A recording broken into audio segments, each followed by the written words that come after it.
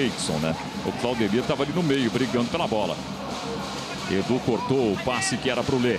Insiste Sueliton. Aí o Sueliton, finalização de longe, é rede!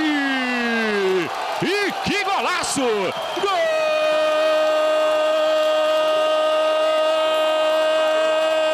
Um golaço de Sueliton no passo da areia a 14 minutos do primeiro tempo. De muito longe, ele pegou na veia.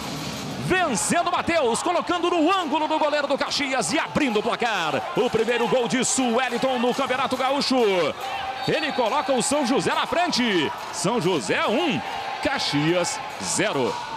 Pegou muito bem, contrariando uma característica dele, porque normalmente